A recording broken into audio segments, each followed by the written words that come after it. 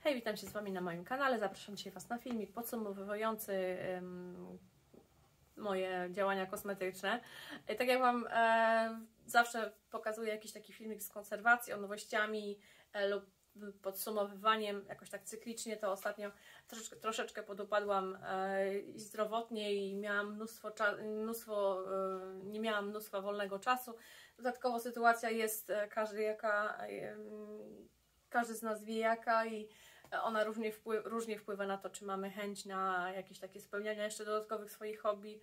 Wiadomo, życie się nie kończy i musimy toczyć dalej to wszystko, ale nie wiem, czy takie gadanie o kosmetysiach nie jest jakieś takie po prostu ignorancją z mojej strony, mm, jeżeli o to chodzi. Wiadomo, każdy z nas nie może się nagle oderwać od wszystkiego, co robi w życiu i nagle rzucić wszystkiego i nie wiadomo czym, na co się porywać, ale uważam, że y, oderwanie się od rzeczywistości też w pewien sposób jakoś tak wpłynie pozytywnie. Ostatnio no, byłam troszeczkę w domu, więc miałam dużo wolnego czasu, oglądałam jakieś tam filmiki na YouTubie, które w ogóle mm, też by, nie były tylko związane z jakąś tam aktualną sytuacją. E, również oglądałam jakieś bzdury i e, jakieś tam kosmetyczne świata, wostki, wiadomo. E, każdy z nas spędza czas tak, jak lubi swój. O czytaniu, o czytaniu na razie nie było mowy, bo nie wiem co się stało, ale ten aktualny wirus pandemiczny, o którym wszyscy wiemy, powoduje między innymi to, że jest taki jak gdyby światłowstręt, jak to nazwać, nie można mm, nad białą kartką papieru się absolutnie zrelaksować. Także i moje pod, robótki podupadły ostatnio i wszystko, ale pomijając to, słuchajcie, yy, mam kilka fajnych rzeczy, które dawno wdrożyłam w swojej pielęgnacji lub yy, już czekały na tą swoją ala premierę moją na YouTubie, yy, tylko najzwyczajniej w świecie nie wspomniałam o tym, dlatego że przecież nie nagrywałam. Kilka z tych rzeczy pokazywałam Wam wcześniej, to są świetne rzeczy yy, lub mniej świetne, ale to o nich tak yy, chcę powiedzieć coś podsumowująco, także mam nadzieję, że Was nie zanudzę. Zacznę od marki Apis, bo yy, tutaj trafiło się chyba najwięcej nowych kosmetyków. Ostatnio Wam wspominałam o tej maseczce rozświetlającej z perłą złotą, i algą i kawiorem i to jest naprawdę genialna maseczka. To jest taka forma po prostu najzwyklejszego kremu. E, ona ma takie jak gdyby w sobie drobinki, ja to nakładam na twarz, po czym po kilku e, minutach, po pół godzinie najzwyczajniej w świecie ściągam, najzwyczajniej w świecie znowu się powtarza to słowo, e, ściągam sobie tę maskę wilgotną szmatką i w ten sposób całkiem osuszam twarz, tylko wklepuję jakiś tam krem, bo nie trzeba zmywać całkowicie tej maski. A drugą maseczką, którą, yy, i to jest całkowita nowość u mnie, to jest ekstremalnie nawilżająca maska żelowa z gruszką i rabarbarem. I tu jest jakaś yy, forma mega nawilżania opatentowana Aquax Term. I powiem Wam, że miałam takie niesamowite oczekiwania w stosunku do tej maski. Może tak się troszeczkę rzuciłam, jak, jak to się mówi, szczerbaty na suchary na nią. Ale yy, no tretinoina troszeczkę tak pustosza tutaj ten, szczególnie tą strefę moją T, gdzie maseczkę noszę w pracy, także być może przez to też ta skóra jest taka mega e, wymagająca, mega nawilżenia i ja tak się strasznie połasiłam na to.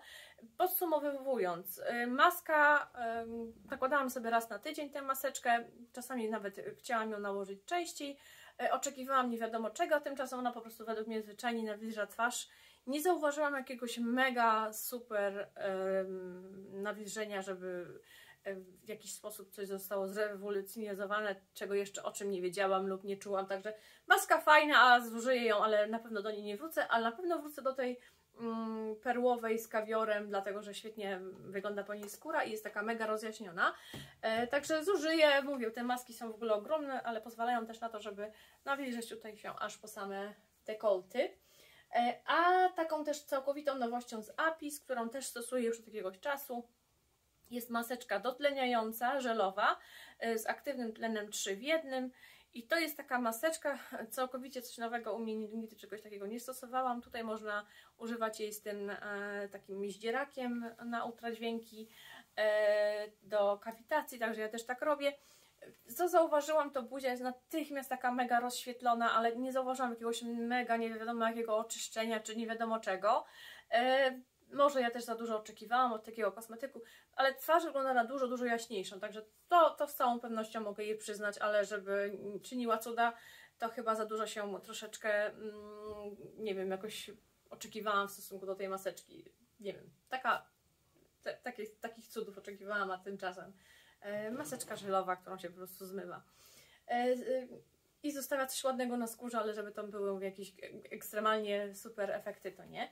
E, słuchajcie, następnie dwa kosmetyki Apis, e, trzy będą, z czego dwa to są rzeczy, które używam już od bardzo dawna i e, one są w mojej pielęgnacji już bardzo długo i dlatego należy im się podsumowanie i jedna z nich to nowość.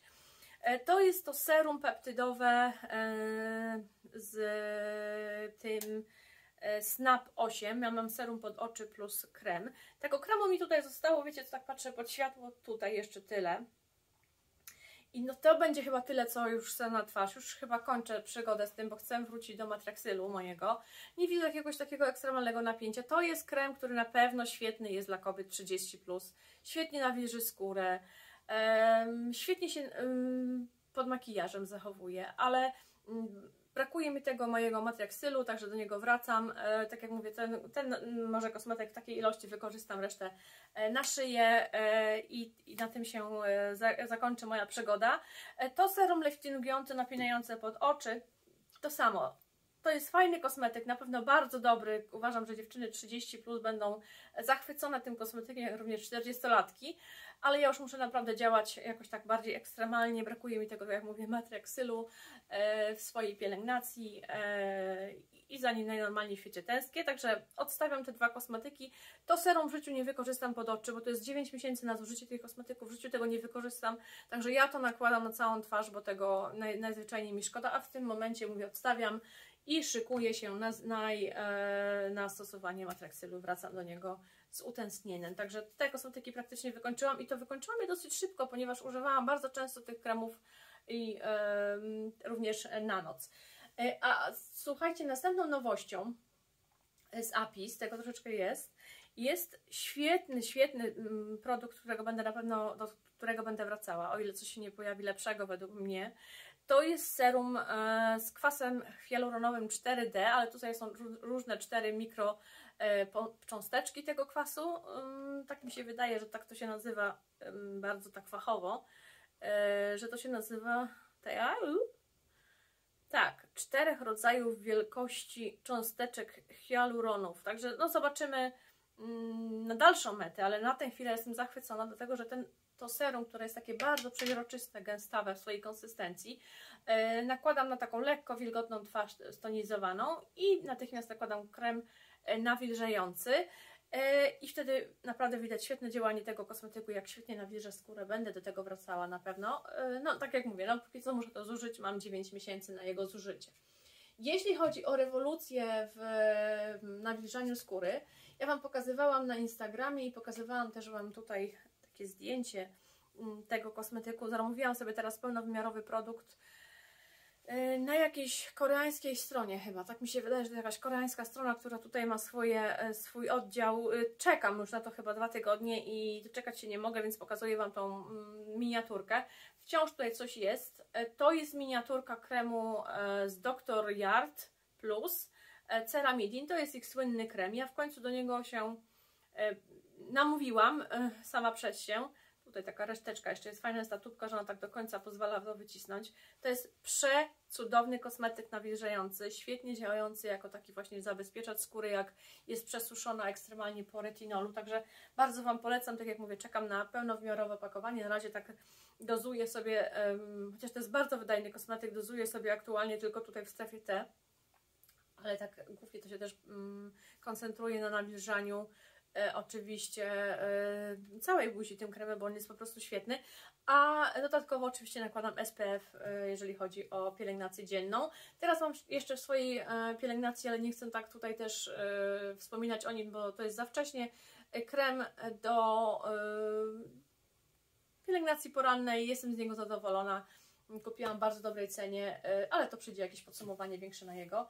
E, działanie. Najbardziej jestem skoncentrowana tutaj na tym kosmetyku, bo tak jak mówię, odstawiłam e, apis, e, jakoś już mi się to przejadło, co używałam, co zużywałam. Słuchajcie, odstawiłam też pewien kosmetyk, który praktycznie wydziałałam do końca. Zostawiłam taką resztunię i I to już wszystko i więcej do tego kosmetyku nie wrócę, choć jest świetny. Uważam, że 20-latki, 30-latki, nawet 40-latki będą zachwycone po tym kosmetyku. To jest firma Alteja Pure Moisture Face Cream, ale ja mam od niego pewne podrażnienia i uczulenia, także w pewnym momencie nawet zauważyłam tutaj na policzkach e, spowodował u mnie takie place e, czerwone. Mam e, jakieś, coś mnie tam podrażnia, bo jak nakładam ten kosmetyk, to natychmiast buzia mnie niesamowicie piecze. Być może to jest spowodowane tym, że najzwyczajniej działa, bo nie zawsze kremy, które pieką, powodują pieczenie. Nie, nie zawsze wiąże się z tym, że to są kosmetyki, które są czulają, ale zauważyłam właśnie po tym kosmetyku, także wysmaruję go na dekolt i szyję, jeżeli tam nie dostanę uczulenia i E, kremik wyląduje po prostu już e, w moim recyklingu, e, w koszu recyklingowym, a najzwyczajniej na świecie do niego nie, więcej nie wrócę, bo wiem, że coś tam mnie ewidentnie podrażnia i wiem, że to ten krem. Chociaż to tak bardzo naturalny produkt i firmy Alteja bardzo lubię. Słuchajcie, następnie nowość u mnie to jest krem, który byłam emulsja właściwie z polecenia mojej koleżanki firma Tiande i to jest krem do twarzy i do, e, do dekoltu. Ja stosuję tylko na, e, w okolicy dekoltu i szyi ten, ten kosmetyk, dlatego że no, ten skład nie jest zbyt ciekawy. Naprawdę nieciekawy, ale chodzi o to, że e, ona była, polecała mi ten kosmetyk, że on przepięknie nawilża skórę i on naprawdę ładnie ją nawilża i jestem na, na tę chwilę z niego bardzo zadowolona. Ale tak jak mówię, w okolicy twarzy nie będę go nakładała, bo Pierwszym, pierwsza rzecz, która tutaj mnie tak ubodła, to jest najzwyczajniej w świecie parafina. Parafina też nie zawsze jest zła w kosmetykach, bo często gęsto zatrzymuje e, tą barierę lipidową, ale niekoniecznie u mnie. Niekoniecznie u mnie, tym bardziej, że ja stosuję, tak jak mówię, Bepanten tutaj bardzo często w tej strefie e, do e, przesuszającej się szczególnie. I tak teraz patrzę, czy coś z kosmetyków jeszcze kolorowych, tych pielęgnacyjnych nie zostało i były, będą to tylko dwie rzeczy, które do których cyklicznie wracam i e, pierwszą z nich to jest oczywiście nowość, e, nowość, nowe opakowanie e, balsamu do mycia z The Inky List do mycia twarzy, genialny produkt, o którym wiecznie wspominam. Niestety nigdy nie ma go w promocji. I ulubiona woda micelarna, która jest często w promocji, że można kupić dwie w cenie jednej, ale te wody też strasznie podrożały ostatnio, co zauważyłam. Te opak to opakowanie akurat ma 400 ml i wiecie co, próbowałam mm, wcześniej już nawet kupiłam i używałam wody nawilżającej z kwasem hialuronowym e, z Eveline i niestety po pewnym czasie te wszystkie wody inne powodują mnie podrażnienia i nie mogę stosować, tylko muszę właśnie tę konkretną. E, uparłam się i stosuję non-stop. E, I teraz tak, kupiłam sobie nową szczotkę też do włosów, którą naprawdę jestem ekstremalnie zachwycona, którą jestem ekstremalnie zachwycona. Kupiłam ją na Amazon, dlatego że tam są często bardzo dobre ceny tych szczotek. To się nazywa um, Pro Shine, jakaś ups, seria różowa i oczywiście mm, to jest Wet Brush Pro, e, ta firma. E, specjalnie wzięłam, nie wywalałam pakowania, żeby Wam pokazać. Nie, nie, no oczywiście to nie jest mój kolor i ja raczej różowego koloru nie lubię, ale ta szczotka ma dopomagać temu, żeby włosy się błyszczały ekstremalnie. No nie wiem, czy temu dopomaga, ale e, fantastycznie przygładza włosy i powiem Wam, że nie szarpie ich, nie, e, ładnie zbiera, ładnie, ładnie je wyczesuje, także jestem z, niego, z niej bardzo zadowolona. E, normalnie ją myję w wodzie z mydłem, nic jej nie dzieje, nie wsiąka E, ta woda nie wiadomo w jaki sposób. Łatwo też się rozczesuje włosy lekko wilgotne, nie plącze ich, także bardzo fajny, bardzo fajny, e, bardzo fajna szczotka. Kupiłam, tak jak mówię, w mega promocyjnej cenie. Coś chyba około 6 funtów mi się chyba nawet udało za nią zapłacić, albo 5. Wiem, że była wyjątkowo tania, e, a brałam też dokładnie taką samą szczotkę, tylko tą czarną wcześniej i zakupiłam sobie jeszcze drugą szczotkę, żeby mieć e, gdzieś tam nie tylko e, na toalecie, ale również w łazience, żeby te szczotki e, nie latać po, po tej szczotki jak, jak poparzona czasami, jak jestem już w tej łazience, to uczestniczę się w łazience, jak jestem już w sypialni, to się uczestniczę w sypialni, bo kiedyś wsadziłam szczotkę nie wiadomo gdzie, nie mogłam jej podziać. Potem się okazało, że nie, nie wiadomo jakim cudem była u mnie na sofie w salonie, także tak, takie cuda się zdarzają. Moja babcia zawsze mówiła świętej pamięci, że coś diabeł ogonem nakryje i nie można znaleźć i to jest prawda. E, oczywiście prawda w tym sensie, że czasami tak się zdarza. Słuchajcie, następnie kosmetyki kolorowe. Absolutnie zaszalałam. To jest po prostu czyste szaleństwo. Zrobiłam sobie Dzień Kobiet sama dla siebie, ale zrobiłam ten Dzień Kobiet tak na raty i to już dawno temu. Wiem, że tak mówią czasami zakupoholiczki, które chcą sobie um, usprawiedliwić jakiekolwiek zakupy i wiecznie znajdują na to e, w swoim życiu momenty, żeby im się e, w jakiś sposób się usprawiedliwiać od tych zakupów, no ale być może wpadłam w totalny zakupoholizm, ale nie, nie sądzę, dlatego że kupuję tylko rzeczy, które bardzo mi są potrzebne. E, I nie kupuję na przykład ciuchów dużo. To jest też dla mnie sukces w pewien sposób po dwóch lat. To naprawdę chyba mi się udało naprawdę kupić coś takiego tylko podstawowego, co kompletnie mi się wydarło. E, ewentualnie za dużo pieniędzy wydaję na włóczki jeszcze wciąż, ale to już też w pewien sposób e, zużywam w tym roku. Powiedziałam, że nie kupię nic nowego, zużywam to, co mam, więc w pewien sposób narzucam sobie jakieś tam cele i one mm, udaje mi się zrealizować. A jeżeli chodzi o kosmetyki, to mam taki plan, listę, no i czasami coś tam wpadnie takiego, mm, co muszę kupić. Wytłumaczyłam się, dobra, słuchajcie, przede wszystkim zaczyna od takiego, od takich gadżecików. Świetne takie, kupiłam sobie e, na Amazonie takie trójkątne, e, nie do końca trójkątne, e, takie zwykłe do nakładania jak to się nazywa? No, teraz nie mogę znaleźć słowa. Gąbeczki. Ale są takie welu, welurowe, ale one nie są welurowe, dlatego że tłumaczę od, od, od innej strony wszystko. Bo to są całkowicie e, bawełniane yy, i powiem Wam, że fantastycznie się nakłada tym puder, który naprawdę się mega utrzymuje długo, a dodatkowo zauważyłam, że świetnie nakłada się również tym podkład. Także ich jest naprawdę kilkanaście w opakowaniu. Mówię, kupiłam na Amazon. Yy, bardzo, bardzo Wam polecam. A zauważyłam na kanale u. Ach, teraz nie przypomnę sobie. Yy, tak, nie przypomnę sobie, ale jak sobie przypomnę, to Wam podam na, na dole kanał, oczywiście w opisie dziewczyny, którą oglądam od lat, która jest w ogóle make-up artist. Słuchajcie, E, kupiłam nowy podkład też e, z L'Oreal, ponieważ tamten e, no praktycznie mi się już kończy, jest na samym dnie, ale oprócz tego no chciałam kupić sobie inny kolor troszeczkę jaśniejszy i udało mi się kupić jaśniejszy kolor, odcień, który bardziej do mnie pasuje i to jest um, True Match Nude, mój ulubiony podkład. Skóra wygląda przepięknie, Wam mogę naprawdę polecić. Świetnie się rozprowadza. To jest produkt, którego można sobie dowolnie E, nakładać do woli, e, warstwować, dlatego że on jest bardzo mega taki rozcieńczający, rozcieńczony i to jest taka mega e, przyjemna postać, przy czym nie podkreśla zmarszczek, ładnie rozświetla twarz.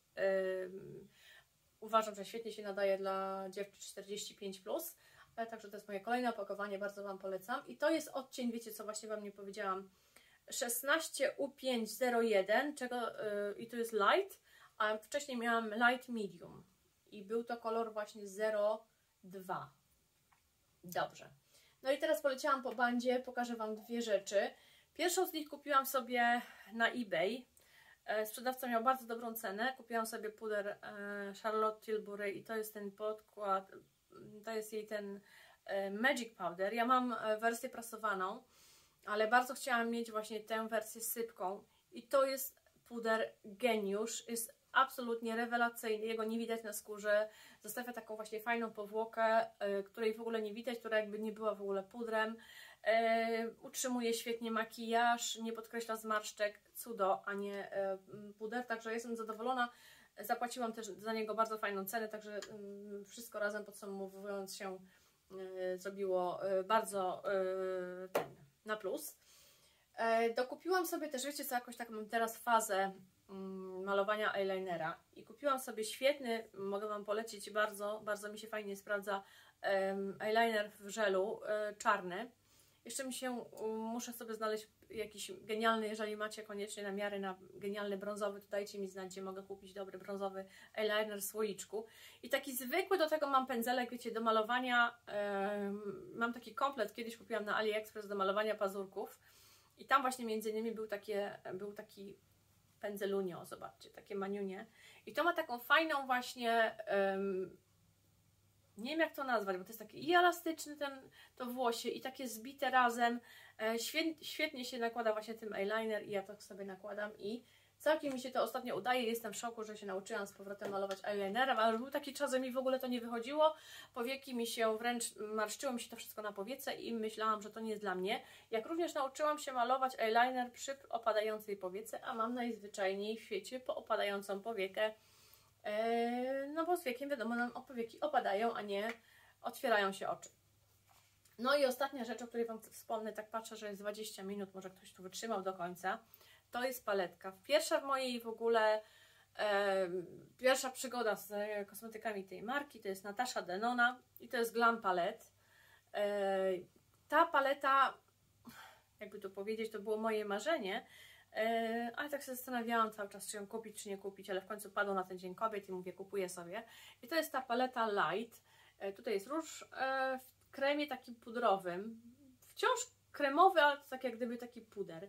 I powiem Wam, e, że jest tutaj przepiękny rozświetlacz, przepiękne cienie, przepięknie napigmentowane na, e, na, nawet na dzienne makijaże, można sobie tu kombinować.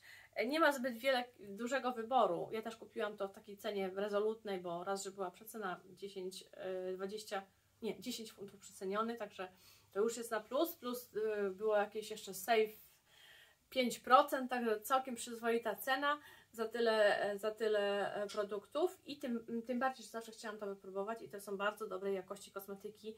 Ten róż jest po prostu śliczny i świetny, naprawdę genialne. No i to teraz to wszystko jest takie nowoczesne, piękne, mm, glamour, glam i w ogóle chce się używać naprawdę cudo. Dobra, to wszystko, a tak w ogóle, a podsumowując, to jest mój, wiecie co, to jest chyba mój ostatni kosmetyk kolorowy, chociaż jeszcze czaję się bardzo na jeszcze jedną paletę z Nataszy, bo to są tak cudownej jakości cienia, chociaż nie wiem, czy mi są potrzebne, bo przecież mam tyle tych cieni i um, ale też korzystam z nich, to nie jest tak, że one leżą odłogiem, bo z czegoś, co nie korzystam, od razu oddaję, to się przyznaję bez bicia i e, rozdaję na lewo i prawo, jeżeli e, nie używam. E, także takie moje rozliczenie duchowe, jeżeli chodzi o ilość posiadanych kosmetyków, ale też e, tylko kupuję coś, co naprawdę chcę, co mi jest potrzebne, co wiem, że będę używała, nie jakieś tam ekstremalne kolory, czy jakieś takie rzeczy, które wiem, że mi się do niczego nie przydadzą. Jejku, i tak się strasznie rozgadałam, 22 minuty. Bardzo Wam dziękuję za oglądanie. Do następnych filmików. E, dziękuję Wam za, za to, że jesteście, że Was wciąż, wciąż tutaj wiele osób nowych jest u mnie na kanale, jest to bardzo miłe, za wszystkie subskrypcje, rączki, łapki w górę.